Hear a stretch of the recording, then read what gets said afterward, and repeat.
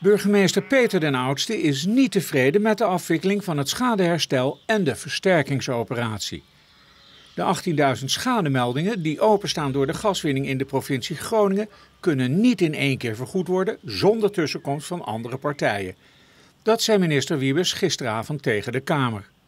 De Kamer debatteerde over het aardgasdossier.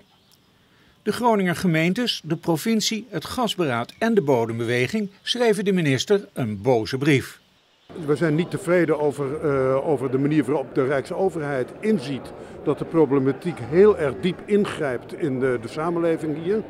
Uh, wij zien ook dat uh, de minister uh, op zichzelf de goede richting uitzet.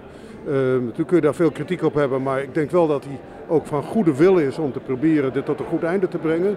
Maar we zien tegelijkertijd ook dat in de complicatie van die hele operatie er ook allerlei situaties zijn die, uh, die weer aanleiding geven tot verschillen van inzicht uh, en tot vertragingen. En dat is natuurlijk het allerergste. Het is een, uh, een operatie die eigenlijk al veel te lang duurt en, en die nu eindelijk eens een keer echt van de grond moet komen. De rol van de gemeentes moet groter worden. En Wiebes moet uiteindelijk de randvoorwaarden bieden dat wij geen belemmerende factoren meer hebben. In geld niet meer, in procedures. En uh, het ene grijpt altijd in het andere in. Het is een heel gecompliceerd gegeven. Uh, we zijn er ook nog lang niet af. Maar het is denk ik heel goed om uh, de minister goed bij de les te houden. Maar ook zo snel mogelijk zelf alles te doen wat we, wat we zouden moeten doen om tot uitvoering te komen.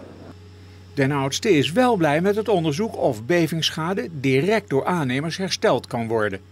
Pas bij een schade boven de 10.000 euro zou er alsnog een inspecteur aan te pas moeten komen. Ja, dat vind ik een heel goed idee. En dat idee dat is ook niet nieuw. Dat hadden we een paar jaar geleden al geopperd. Maar iedereen wil natuurlijk controle houden over het geld wat hij uitgeeft. Alleen dan moet je bijbehorend dus ook uh, de, uh, de positie innemen dat je ook experts onmiddellijk, uh, als er zich een schade voelt, langs de woning stuurt. En als dat jaren wacht, dan gaat dat dus niet gebeuren. Dus ik vind dit een uitstekend idee. En ik denk dat iedereen daar ook blij mee is als dat ook echt gaat gebeuren.